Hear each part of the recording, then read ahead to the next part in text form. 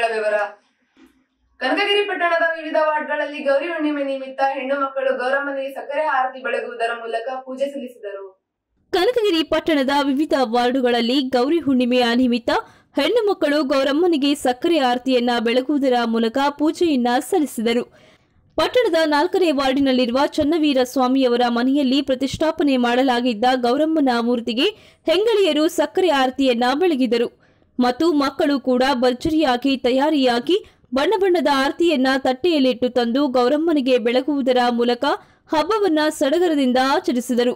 ಮತ್ತು ಹದಿನಾಲ್ಕನೇ ವಾರ್ಡಿನಲ್ಲಿಯೂ ಗೌರಿ ಮೂರ್ತಿಯನ್ನ ಪ್ರತಿಷ್ಠಾಪಿಸಿ ಆರತಿ ಬೆಳಗಿ ಭಕ್ತಿಭಾವ ಮೆರೆದರು.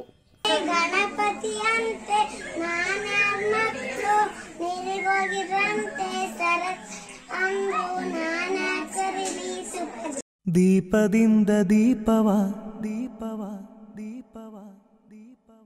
ಹಚ್ಚಬೇಕು ಮಾನವ ಮಾನವ ಮಾನವ ಮಾನವ. ಪ್ರೀತಿಯಿಂದ ಪ್ರೀತಿ ಹಂಚಿರೋ.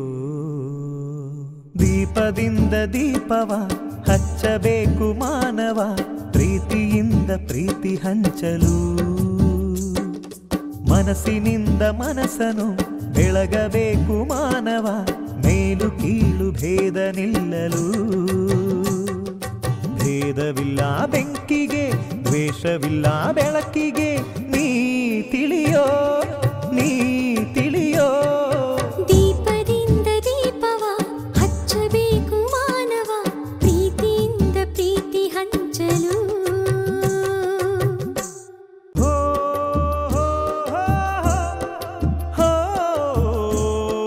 ಹೋ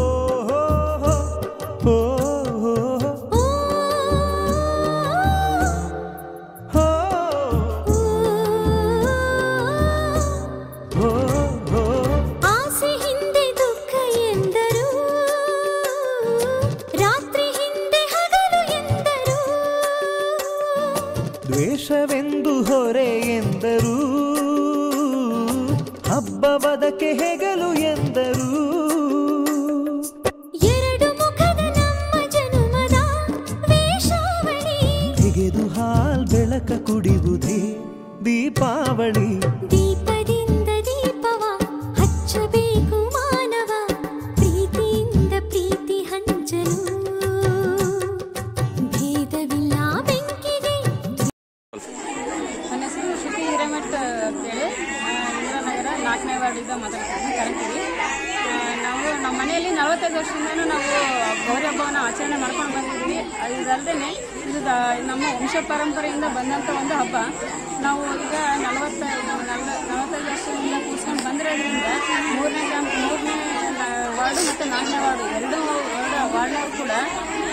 ನಲವತ್ತೈದು ನಮ್ಮ ಮನೆಗೆ ಬಂದು ಆರತಿಯನ್ನು ಮುನ್ನೂರ ಹೆಣ್ಮಕ್ಳು, ಮುನ್ನೂರಿಂದ ಐನೂರು ಹೆಣ್ಮಕ್ಳು ಸೇರಿ ಬಂದು ನಮ್ಮ ಮನೆಯಲ್ಲಿ ಆರತಿಯನ್ನು ಪಡ್ಕೊಂಡು ಗೌರಿ ಆಶೀರ್ವಾದವನ್ನು ಪಡ್ಕೊತಿದ್ದಾರೆ ಅಷ್ಟಲ್ಲದೆ ಹಿಂದೂ ಆಗಿರ್ಬೋದು ಮುಸ್ಲಿಂ ಆಗಿರ್ಬೋದು, ಬಾ- ಭಾವೈಕ್ಯತೆಯಿಂದ ಭಾವೈಕ್ಯತೆಯಿಂದ ನಮ್ಮ ಮನೆಗೆ ಬಂದು ಎಲ್ಲರೂ ಆರತಿಯನ್ನು ಬೆಳ್ಕೊಂಡು ಅವರ ಆಶೀರ್ವಾದ ಪಡ್ಕೊಂಡು ಹೋಗ್ತಾ ಇದ್ದಾರೆ.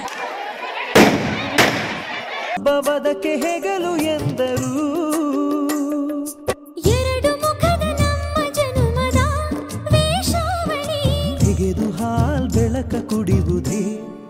ದೀಪಾವಳಿ. ದೀಪದಿಂದ ದೀಪವ ಹಚ್ಚಬೇಕು ಮಾನವ.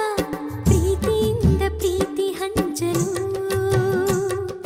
ಭೇದವಿಲ್ಲ ಬೆಂಕಿಗೆ ದ್ವೇಷವಿಲ್ಲ ಬೆಳಕಿಗೆ. ನೀ ತಿಳಿಯೋ ನೀ ತಿಳಿಯೋ. ದೀಪದಿಂದ ದೀಪವ ಹಚ್ಚಬೇಕು ಮಾನವ. ಪ್ರೀತಿಯಿಂದ ಪ್ರೀತಿ ಹಂಚಲು.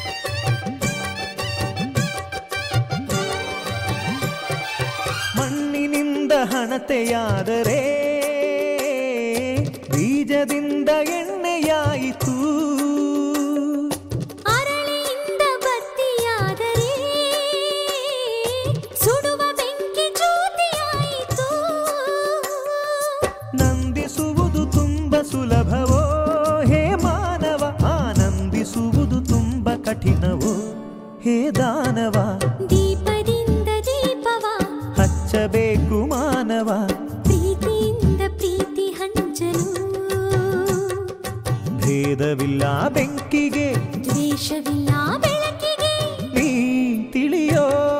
ನೀ ತಿಳಿಯೋ? ದೀಪದಿಂದ ದೀಪವ ಹಚ್ಚಬೇಕು ಮಾನವ. ಪ್ರೀತಿಯಿಂದ ಪ್ರೀತಿ ಹಂಚಲು. ಗ್ರಾಮೀಣ ಭಾಗದ ವಿದ್ಯಾರ್ಥಿಗಳಿಗೆ ಶಾಲಾ ಕಾಲೇಜಿಗೆ ತೆರಳಲು ಸರಿಯಾದ ಸಮಯಕ್ಕೆ ಬಸ್ ಬಿಡುವಂತೆ ಒತ್ತಾಯಿಸಿ ಎಸ್ಎಫ್ಐ ನೇತೃತ್ವದಲ್ಲಿ ದಿಢೀರ್ ಪ್ರತಿಭಟನೆ ಮಾಡಲಾಯಿತು.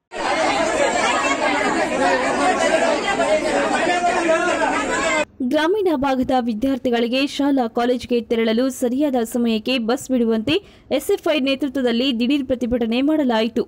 ಈ ಸಂದರ್ಭದಲ್ಲಿ ಶಿವಕುಮಾರ್ ಎಸ್ಎಫ್ಐ ತಾಲೂಕು ಕಾರ್ಯದರ್ಶಿ ಮಾತನಾಡಿ, ಗಂಗಾವತಿ ಘಟಕ ಸಾರಿಗೆ ವ್ಯವಸ್ಥಾಪಕರು ಅವರು ಗ್ರಾಮೀಣ ಪ್ರದೇಶದಲ್ಲಿರುವ ವಿದ್ಯಾರ್ಥಿಗಳೆಲ್ಲ ಕಡೆಗಣಿಸುತ್ತಿದ್ದಾರೆ.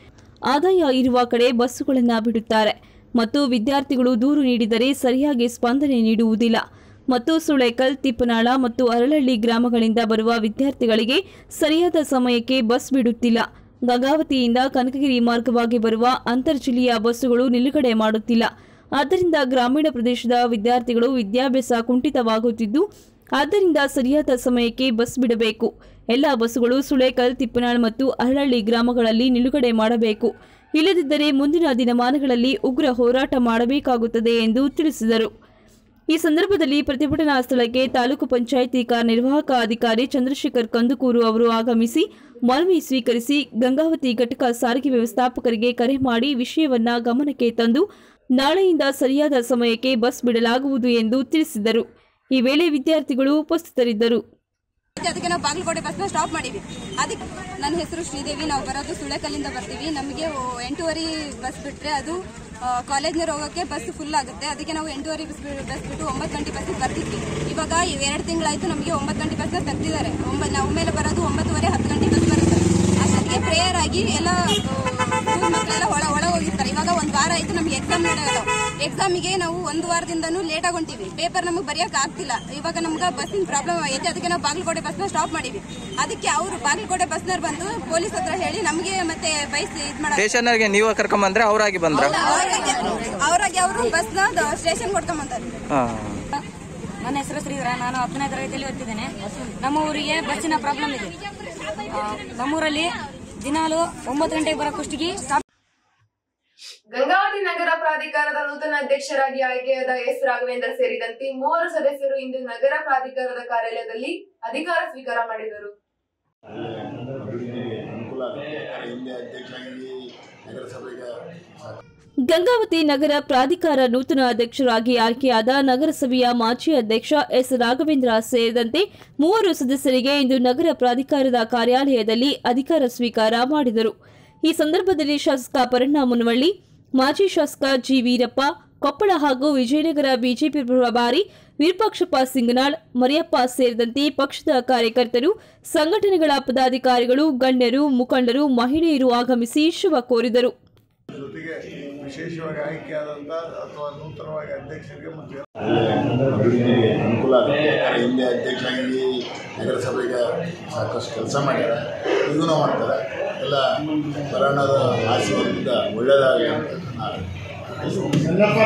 ಅದನ್ನು ತಡೆ ಹಿಡಿಯುವಂಥ ಕೆಲಸವನ್ನು ನಾವು ಮಾಡ್ತೇವೆ ಅನಧಿಕೃತ ಲೇಔಟ್ಗಳನ್ನು ಕಾನೂನಾತ್ಮಕವಾಗಿ ಏನಿದೆ ಆ ಕೆಲಸವನ್ನು ನಾವು ಮಾಡುವಂಥದ್ದು ಮತ್ತು ಮುಂದಿನ ಅಧ್ಯಕ್ಷರಾದಂಥ ರಾಘವೇಂದ್ರ ಶ್ರೇಷ್ಠಿಯವರು ಸಹಿತ ಅನುಭವಿಸ್ತಿದ್ದಾರೆ ಸಾಕಷ್ಟು ಒಳ್ಳೆಯ ಅನುಭವವನ್ನು ಪಡೆದಿದ್ದರಿಂದ ಇದಕ್ಕೂ ಸಹಿತ ಒಂದು ಒಳ್ಳೆಯ ಒಂದು ಅಭಿವೃದ್ಧಿ ಕಾರ್ಯವನ್ನು ಮಾಡೋದ್ರ ಮುಖಾಂತರ ನಮಗೊಂದು ಒಳ್ಳೆಯ ಹೆಸರನ್ನು ತರ್ತಾರೆ ಅನ್ನುವಂಥ ಮಾತನ್ನು ಈ ಸಂದರ್ಭದಲ್ಲಿ ಹೇಳೋದ್ರ ಜೊತೆಗೆ ವಿಶೇಷವಾಗಿ ಆಯ್ಕೆಯಾದಂಥ ಅಥವಾ ನೂತನವಾಗಿ ಅಧ್ಯಕ್ಷರಿಗೆ ಮತ್ತು ಎಲ್ಲ ಸದಸ್ಯರಿಗೂ ಸಹಿತ ವಿಶೇಷವಾದಂಥ ಅಭಿನಂದನೆ ಹೇಳಲಿಕ್ಕೆ ಬಯಸ್ತಾರೆ ಯೋಜನಾ ಪ್ರಾಧಿಕಾರದ ಅಧ್ಯಕ್ಷರು ಮತ್ತು ಮನೋಹರ್ ಗೌಡರು ಮತ್ತು ಶಿವಪ್ಪನವರು ಹಾಗೂ ಅನಿತ್ ಅವರನ್ನು ನಗರ ಯೋಜನಾ ಪ್ರಾಧಿಕಾರದ ಸದಸ್ಯರನ್ನಾಗಿ ಮಾಡಿರ್ತಕ್ಕಂಥ ಜನಪ್ರಿಯ ಶಾಸಕರಾಗಿರ್ತಕ್ಕಂಥ ಪರಿಣಾಮಗಳಿಗೂ ಹಾಗೂ ಲೋಕಸಭಾ ಸದಸ್ಯರಾಗಿರ್ತಕ್ಕಂಥ ಕರಡಿ ಸಂಘಟನವರಿಗೂ ಹಾಗೂ ಪಕ್ಷದ ಎಲ್ಲ ಮುಖಂಡರಿಗೂ ಸಹಿತ ಅಭಿನಂದನೆಗಳು ಸಲ್ಲಿಸ್ತಾ ಈ ಒಂದು ಅವಧಿಯಲ್ಲಿ ಗಂಗಾವತಿ ನಗರಕ್ಕೆ ಎರಡು ಸಾವಿರದ ಇಪ್ಪತ್ತ್ಮೂರರ ಒಳಗಾಗಿ ಒಂದು ಮಾಸ್ಟರ್ ಪ್ಲ್ಯಾನ್ ಸಿದ್ಧವಾಗಬೇಕಾಗಿದೆ. ಒಂದು ಸದಸ್ಯರ ಜೊತೆಗೂಡಿ ಹಾಗೂ ಸದಸ್ಯ ಕಾರ್ಯದರ್ಶಿ ಆಗಿರ್ತಕ್ಕಂಥ ದೀಪಕ್ ಅವರ ಜೊತೆಗೂಡಿ ಸಾಧ್ಯವಾದಷ್ಟು ಉತ್ತಮವಾಗಿರ್ತಕ್ಕಂಥ ಒಂದು ವಿನ್ಯಾಸವನ್ನು ರಚನೆ ಮಾಡಿ ಎರಡು ಸಾವಿರದ ಇಪ್ಪತ್ತ್ಮೂರರ ಒಳಗಾಗಿ ಮಾಸ್ಟರ್ ಪ್ಲ್ಯಾನವನ್ನು ಸಿದ್ಧ ಮಾಡಿ ಜನತೆಗೆ ಅರ್ಪಿಸುವುದಕ್ಕೆ ಪ್ರಯತ್ನವನ್ನು ಮಾಡ್ತೀವಿ. ಈ ಒಂದು ನಮ್ಮ ಅವಧಿಯಲ್ಲಿ ಗಂಗಾವತಿ ನಗರ ಯೋಜನಾ ಪ್ರಾಧಿಕಾರವನ್ನು, ಅಭಿವೃದ್ಧಿ ಪ್ರಾಧಿಕಾರವನ್ನಾಗಿ ಮಾಡೋದಕ್ಕೆ ಪ್ರಯತ್ನ ಮಾಡೋದರ ಜೊತೆಗೆ ಸ್ವಂತ ಕಟ್ಟಡಕ್ಕೆ ಸಹಿತ ನಮ್ಮ ಶಾಸಕರು ಹೇಳಿದಂತೆ ಕೆಲವೇ ದಿನಗಳಲ್ಲಿ ಅಡಿಗಲ್ಲನ್ನು ಮಾಡ್ತಕ್ಕಂಥ ಕೆಲಸವನ್ನು ನಾವು ಮಾಡುತ್ತೇವೆ ಸ್ವಿಪ್ ಕಾರ್ಯಕ್ರಮ ಮಾಡಿ ಕನಕಗಿರಿ ಪಟ್ಟಣದಲ್ಲಿ ಕಾಲೇಜು ವಿದ್ಯಾರ್ಥಿಗಳಿಂದ ಮತದಾರರ ಪಟ್ಟಿಯ ಪರಿಷ್ಕರಣೆ ಜಾಗೃತಿ ಜಾಥಾ ನಡೆಯಿತು.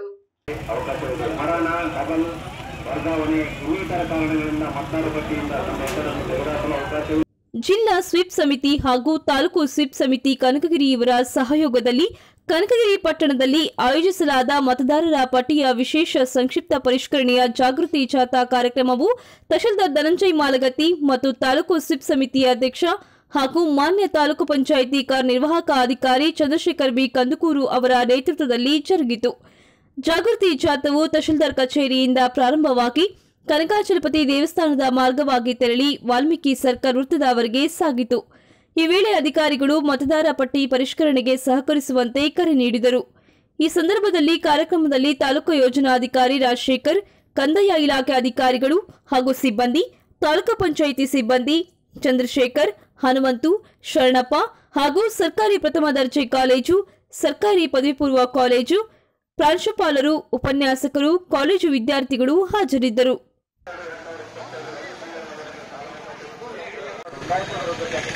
ನಿಮ್ಮ ಮನೆಯವರ ಹೆಸರನ್ನು ಕೂಡ ನೋಂದಾಯಿಸಿ ಈ ಒಂದು ನಮ್ಮ ಪ್ರಜಾಪ್ರಭುತ್ವವನ್ನು ಬಲಗೊಳಿಸೋದಕ್ಕೆ ತಮ್ಮೆಲ್ಲರೂ ಕೈ ಜೋಡಿಸಬೇಕಂತ ಹೇಳಿ ಮತ್ತೊಮ್ಮೆ ನಾನು ನಮ್ಮ ತಾಲೂಕಾಡಳಿತದ ಪರವಾಗಿ ಹಾಗೂ ನಮ್ಮ ತಾಲೂಕ್ ಪಂಚಾಯತ್ ಪರವಾಗಿ ಎಲ್ಲ ವಿದ್ಯಾರ್ಥಿ ಮಿತ್ರರಲ್ಲಿ ನಾನು ಮತ್ತೊಮ್ಮೆ ಮನವಿ ಮಾಡಿಕೊಳ್ತಾ ಇದ್ದೇನೆ. ಜೈ ಹಿಂದ್ ಜಯ ಕರ್ನಾಟಕ.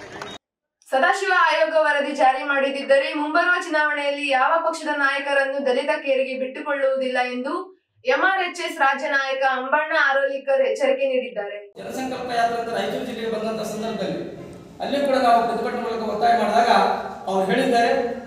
ಸದಾಶಿವ ಆಯೋಗ ವರದಿಯನ್ನ ಕೇಂದ್ರ ಸರ್ಕಾರಕ್ಕೆ ಶಿಫಾರಸು ಮಾಡಿ ಅದನ್ನು ಜಾರಿ ಮಾಡಬೇಕು. ಡಿಸೆಂಬರ್ ಹನ್ನೆರಡರಂದು ನಡೆಯುವ ಅಧಿವೇಶನದಲ್ಲಿ ಇದು ಸುದೀರ್ಘ ಚರ್ಚೆಯಾಗಬೇಕು. ಇಲ್ಲವಾದಲ್ಲಿ ದೊಡ್ಡ ಮಟ್ಟದಲ್ಲಿ ಹೋರಾಟವಾಗುತ್ತದೆ. ಮುಂಬರುವ ಎರಡ್ ಸಾವಿರದ ಇಪ್ಪತ್ಮೂರರ ವಿಧಾನಸಭಾ ಚುನಾವಣೆಗೆ ಯಾವ ಪಕ್ಷದ ನಾಯಕರನ್ನ ನಮ್ಮ ದಲಿತ ಕೇರಿಗೆ ಬಿಟ್ಟುಕೊಳ್ಳುವುದಿಲ್ಲ. ಉಸಿರುಗಟ್ಟುವ ವಾತಾವರಣ ಸೃಷ್ಟಿಸುತ್ತೇವೆ. ಒಂದು ಸರ್ಕಾರ ಇರಬೇಕು, ನಾವಿರಬೇಕು, ಇಲ್ವೋ ಸದಾಶಿವ ಆಯೋಗ ವರದಿ ಜಾರಿಯಾಗಬೇಕು ಎನ್ನುವುದನ್ನು ನಿರ್ಧಾರ ಮಾಡಿದ್ದೇವೆ ಎಂದು ಎಂಆರ್ಎಚ್ಎಸ್ ರಾಜ್ಯ ನಾಯಕ ಅಂಬಣ್ಣ ಆರೋಲಿಕರ್ ಎಚ್ಚರಿಕೆ ನೀಡಿದ್ದಾರೆ. ನಗರದಲ್ಲಿ ಸುದ್ದಿಗೋಷ್ಠಿ ನಡೆಸಿ ಮಾತನಾಡಿದ ಅವರು, ಸದಾಶಿವ ಆಯೋಗದ ವಿಚಾರವಾಗಿ ಕಾಂಗ್ರೆಸ್, ಬಿಜೆಪಿ, ಜೆಡಿಎಸ್ ಎಲ್ಲ ಪಕ್ಷಗಳು ಅನ್ಯಾಯ ಮಾಡಿವೆ. ನಮ್ಮ ಸಮುದಾಯವನ್ನ ಕಡೆಗಣಿಸಿವೆ ಎಂದು ಆರೋಪಿಸಿದರು. ಕಳೆದ ಇಪ್ಪತ್ತೈದು ವರ್ಷಗಳಿಂದ ಹೋರಾಟ ಮಾಡಿದ್ದೇವೆ. ನಾವು ಮೀಸಲಾತಿ ಹೆಚ್ಚಳದ ಬಗ್ಗೆ ನಾವು ಮಾತನಾಡುತ್ತಿಲ್ಲ. ಮೀಸಲಾತಿ ಹೆಚ್ಚಳ ಮಾಡಿದರೂ ಅದು ಮತ್ತೆ ಬಲಾಢ್ಯರ ಪಾಲಾಗುತ್ತೆ. ನೂರ ಒಂದು ದಲಿತ ಜಾತಿಗಳಲ್ಲಿ ಮಾದಿಗ ಉಪಜಾತಿಗಳು ಐವತ್ತೊಂದು ಇವೆ. ಚಲುವಾದಿ ಉಪಜಾತಿಗಳು ಇಪ್ಪತ್ತೆಂಟು ಇವೆ. ಆದರೆ ಸದಾಶಿವ ಆಯೋಗ ವರದಿ ಕೇವಲ ಮಾದಿಗರ ಒಂದೇ ಜಾತಿಗೆ ಎನ್ನುವಂತೆ ಬಿಂಬಿಸಲಾಗಿದೆ. ಮೊದಲು ನಾಗಮೋಹನ್ ದಾಸ್ ವರದಿಯನ್ನ ಸ್ಪಷ್ಟವಾಗಿ ಬಹಿರಂಗಪಡಿಸಲಿ. ಇರುವ ಮೀಸಲಾತಿಯನ್ನ ಜನಸಂಖ್ಯಾವಾರು ಹಂಚಿಕೆ ಮಾಡಲಿ ಎನ್ನುವುದು ನಮ್ಮ ಹೋರಾಟ ಎಂದರು. ಕಾಂಗ್ರೆಸ್ ಆಯೋಗ ಮಾಡಿದೆ. ಬಿಜೆಪಿ ಅನುದಾನ ಕೊಟ್ಟಿದೆ. ಆಯೋಗ ರಚನೆಗೆ ಏಳು ವರ್ಷ ಹೋರಾಟ ಮಾಡಿದ್ದೇವೆ. ಅನುದಾನಕ್ಕೆ ಏಳು ವರ್ಷ ಹೋರಾಟ ಮಾಡಿದ್ದೇವೆ. ಆಯೋಗ ವರದಿ ಬಂದು ಹತ್ತು ವರ್ಷಗಳಾದರೂ ಚರ್ಚೆಗೆ ಬರುತ್ತಿಲ್ಲ. ನಾವು ಈ ದೇಶದ ಪ್ರಜೆಗಳ, ನಾವು ವಿದ್ರೋಹಿಗಳ ಪ್ರಶ್ನೆ ನಮ್ಮಲ್ಲಿ ಮೂಡಿದೆ ಎಂದು ಅಸಮಾಧಾನ ವ್ಯಕ್ತಪಡಿಸಿದರು. ಮಾದಿಗ ದಂಡೋರ ಸಂಘದ ರಾಜ್ಯಾಧ್ಯಕ್ಷ ನರಸಪ್ಪ ಬಿ ಮಾತನಾಡಿ, ರಾಯಚೂರಿಗೆ ಬಂದ ಸಿಎಂ ಬಸವರಾಜ ಬೊಮ್ಮಾಯಿ ಅವರು ವರದಿ ಜಾರಿಗೆ ತರುತ್ತೇವೆ ಎಂದು ಭರವಸೆ ನೀಡಿದ್ದಾರೆ. ಮಾಜಿ ಸಿಎಂ ಸಿದ್ದರಾಮಯ್ಯ ಅವರು ಹಲವರು ಇದಕ್ಕೆ ಅಡ್ಡಗಾಲು ಹಾಕುತ್ತಿದ್ದಾರೆ ಎಂದು ಹೇಳಿದ್ದರು. ಇದೀಗ ಅವರು ಸಹ ಕ್ಷಮೆ ಯಾಚಿಸಿ ನಮ್ಮ ಸರ್ಕಾರ ಬಂದರೆ ಇದನ್ನು ಜಾರಿಗೆ ಮಾಡುತ್ತೇವೆ ಎಂದು ತಿಳಿಸಿದ್ದಾರೆ. ಆದರೂ ನಾವು ಹೋರಾಟ ಮುಂದುವರಿಸಿದ್ದೇವೆ. ಇದು ಬಹುದಿನಗಳ ಬೇಡಿಕೆಯಾಗಿದೆ. ಶೇಕಡ ಹದಿನೈದರಷ್ಟು ಇರುವ ಮೀಸಲಾತಿಯನ್ನ ಶೇಕಡ ಹದಿನೇಳರಷ್ಟು ಮಾಡಿದ್ದೇವೆ ಎಂದು ಹೇಳುತ್ತಾರೆ. ಶೇಕಡ ಹದಿನೇಳು ಅಲ್ಲ, ಶೇಕಡ ಇಪ್ಪತ್ತರ ಕೊಟ್ಟರೂ ಅದು ನೂರ ಒಂದು ಜಾತಿಗಳಲ್ಲಿ ಬಲಾಢ್ಯರಿಗೆ ಸೇರುತ್ತದೆ. ಹಾಗಾಗಿ ನಾವು ಡಿಸೆಂಬರ್ ಹನ್ನೊಂದರಂದು ಬೆಂಗಳೂರಿನಲ್ಲಿ ಫ್ರೀಡಂ ಪಾರ್ಕ್ನಲ್ಲಿ ದೊಡ್ಡ ಮಟ್ಟದಲ್ಲಿ ಹದಿನಾರು ದಲಿತ ಸಂಘಟನೆಗಳು ಹೋರಾಟ ಮಾಡುತ್ತೇವೆ. ಕೇಂದ್ರ ಸರ್ಕಾರಕ್ಕೆ ಶಿಫಾರಸು ಮಾಡಲು ಒತ್ತಾಯಿಸುತ್ತೇವೆ ಎಂದರು.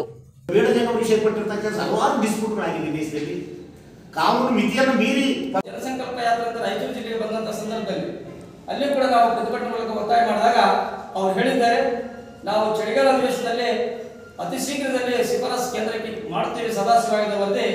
ತಾವು ತಾಳ್ಮೆಯಿಂದ ಅಂತ ಹೇಳಿದ್ದಾರೆ. ನಾವು ಅದಕ್ಕೆ ಒಪ್ಕೊಂಡಿದ್ದೀವಿ. ನಾವು ಮನವಿ ಸಲ್ಲಿಸಿದ ನಂತರ ಹೇಳಿದ್ದೀವಿ, ಸಾಹೇಬ್ರೆ, ದಯವಿಟ್ಟು ನಿಮ್ಮ ಸರ್ಕಾರ, ತಾವೇನು ಪ್ರಣಾಳಿಕೆಯಲ್ಲಿ ತಗೊಂಡಿದ್ದೀರಾ? ನಿಮ್ಮ ಸ್ಥಿರ ಉಪಚುನಾವಣೆಯಲ್ಲಿ ನಿಮ್ಮ ಭಾರತೀಯ ಜನತಾ ಪಕ್ಷ ಭಾರತೀಯ ಜನತಾ ಪಕ್ಷ ರಾಜ್ಯಾಧ್ಯಕ್ಷರಾದ ನಳಿನ್ ಕಟ್ರಿ ಅವರು ಉಪಚುನಾವಣೆ ಸಂದರ್ಭದಲ್ಲಿ ಹೇಳಿದರು. ನಮ್ಮದು ಉಪಚುನಾವಣೆ ಗೆಲ್ಲಿಸಿ ಸದಾಶಿವಾಯದ ವರದಿ ನಾವು ಶಿಫಾರಸು ಮಾಡ್ತೀವಿ. ಮುಖ್ಯಮಂತ್ರಿ ಹೇಳಿ ಅಂತೇಳಿ ಇಲ್ಲಿವರೆಗೂ ಕೂಡ ಮೌನವಾಗಿದ್ದಾರೆ. ಮೊನ್ನೆ ರಾಯಚೂರು ಜಿಲ್ಲೆಗೆ ಬಂದಂತ ಬಸವರಾಜ ಬೊಮ್ಮಾಯಿ ಹೇಳಿದ್ದಾರೆ, ನಾನು ಗಡ ಖಂಡಿತ ಮಾಡ್ತೇವೆ ಅಂತೇಳಿ. ಆದರೂ ನಾವು ಸುಮ್ಮನೆ ಕೊಡುವುದಿಲ್ಲ, ಹೋರಾಟಗಾರರು, ನಮ್ಮ ಭೂಮಿಯಿಂದ ಬೇಡಿಕೆ. ಆ ಬೇಡಿಕೆಗಾಗಿ ನಾವು ಲಕ್ಷಾಂತರ ಜನ ಸೇರ್ಬೇಕಂತ ಡಿಸೆಂಬರ್ ಹನ್ನೊಂದರಂದು ಹಮ್ಮಿಕೊಂಡಿದ್ದೀವಿ.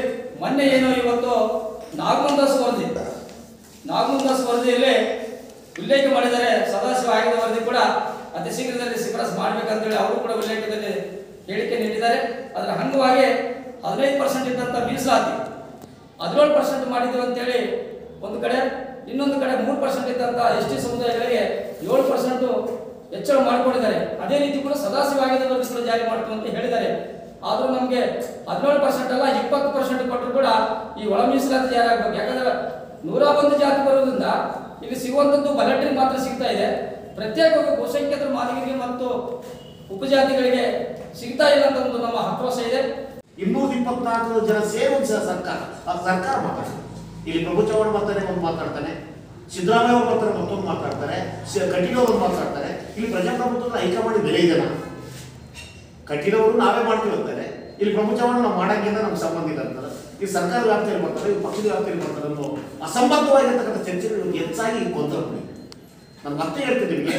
ಮಾದಿಗರಾಗಲಿ ಚಲವಾದಿಗಳಾಗಲಿ ಇತ್ತೀಚೆಗೆ ಎಲ್ಲರೂ ಒಂದು ಕಡೆ ಸೇರಿದ್ರು ಕೂಡ ಯಾವುದೇ ಸಂದರ್ಭ ಹೋರಾಟ ನಿಲ್ತಿಲ್ಲ ಇಪ್ಪತ್ತೈದು ವರ್ಷ ನಿರಂತರ ಹೋರಾಟ. ಕಾಂಗ್ರೆಸ್ ಸಿದ್ಧವಾಗಿದೆ ಹೋರಾಟ. ಬಿಜೆಪಿ ಸಿದ್ಧವಾಗಿದೆ. ಜೆ ಡಿ ಸಿದ್ಧವಾಗಿದೆ. ಕುಮಾರಸ್ವಾಮಿ ಅವರು ಎರಡೇ ತಿಂಗಳು ಜಾರಿ ಮಾಡಿಕೊಂಡು ಸಮ್ಮಿಶ್ರ ಸರ್ಕಾರದಲ್ಲಿ ಪ್ರಕಟ ಮಾಡಿದ್ರು. ಪ್ರಣಾಳಿಕೆಯಲ್ಲಿ. ಮತ್ತೆ ಕಾಂಗ್ರೆಸ್ ಸರ್ಕಾರ ಕಮಿಷನ್ ಮಾಡಿ. ಸಿದ್ದರಾಮಯ್ಯ ನಾನು ಬೇರೆ ಅವ್ರು ಮಾಡಕ್ ಸಾಧ್ಯ ಇಲ್ಲ. ಗಂಟು ಬಿಚ್ಚಬೇಕು ತೊಡೆ ತಟ್ಟಿ ಎರಡ್ ಸಾವಿರದ ಹನ್ನೆರಡು ಜಗದೀಶ್ ಶೆಟ್ಟರ್ ಅವರು ಸರ್ಕಾರದಿಂದ ತೊಡೆ ತಟ್ಟಿ ನಮ್ಮ ಪರವಾಗಿ ಮಾತಾಡ್ಬಿಟ್ಟು ಅವ್ರು ಗೆಲ್ಲಿಸಿದ್ರು. ನಮ್ಮ ನಾಯಕರು, ಅಹಿಂದ ನಾಯಕರು ಕನಿಷ್ಠ ಕಾನೂನು ಬಗ್ಗೆ ದೊಡ್ಡ ವಿದ್ವತ್ತಿದೆ ಅವ್ರು ಮಾಡ್ತಾರೆ. ಅವ್ರು ಮಾಡಿಲ್ಲ ಬಿಜೆಪಿ ಅವ್ರು ಮಾಡಿಲ್ಲ ಬಿಜೆಪಿ ಅವ್ರು ಮತ್ತೆ ಐದು ವರ್ಷ ಬಗ್ಗೆ ಐದು ತಿಂಗಳಿದೆ ಅದಕ್ಕೋಸ್ಕರ ಡಿಸೆಂಬರ್ ಹನ್ನೆರಡರಲ್ಲಿ ಡಿಸೆಂಬರ್ ಹನ್ನೆರಡರಿಂದ ಅಧಿವೇಶನ ಸ್ಟಾರ್ಟ್ ಆಗ್ತದೆ. ಆ ಅಧಿವೇಶನದಲ್ಲಿ ಈ ಮೂರು ಪಕ್ಷಗಳು ಸ್ಪಷ್ಟವಾಗಿ ಸದಾಶಿವ ಬಗ್ಗೆ ನಿಖರವಾಗಿ ಮಾತಾಡಬೇಕು. ಅದು ತಿರಸ್ಕಾರವನ್ನು ಪುರಸ್ಕಾರವನ್ನು ಇರಬೇಕು ಇದಾಗಿತ್ತು ಇಂದಿನ ಏಸಿಯನ್ ವಾರ್ತೆಗಳು. ಮುಂದಿನ ಏಸಿಯನ್ ವಾರ್ತೆಗಳೊಂದಿಗೆ ಮತ್ತೆ ಭೇಟಿಯಾಗೋಣ. ಅಲ್ಲಿವರೆಗೂ ನೋಡ್ತಾ ಇರಿ ಏಸಿಯನ್ ಚಾನಲ್. ನಾನು ಮೈತ್ರಿ. ನಮಸ್ಕಾರ.